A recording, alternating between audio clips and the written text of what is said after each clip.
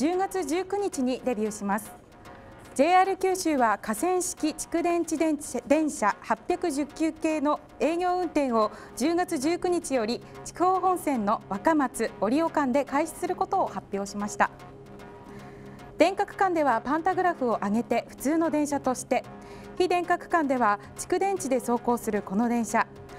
交流電化区間でこのタイプの車両が走るのは国内初となります、かがでしょう？はいえーと、まずですねこのニュースをまあ入れたところの狙いとして、えーまあ、こういうところの会場で三浦さんが噛むということを期待してるんです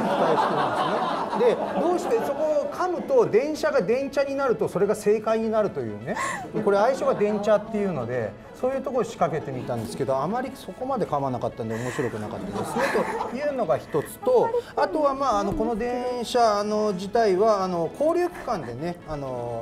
の電気取ってそれでそれ、えー、蓄電池の方に充電して、えー、そのバッテリーで、えー、非電化区間を走るという方式でね。直流区間の方は JR 東日本の烏山線でやってるんですけど交流区間では今回九州のこの筑豊本線が初めてということなんですけどまあねあのダイヤの方を見てるとあのデビュー後10月19日以降は若松折尾間を4往復するというダイヤになってるんですけどなんだろうな見ててまあ思ったのは烏山線と違って完全に非電化の区間を4往復するんだなみたいな感じでね。せっかくだったら能型まで乗り入れてね両方使ってくれるとなんか楽しいのなみたいな感じで思ったのとまああとはあの烏山駅みたいにねすげえあの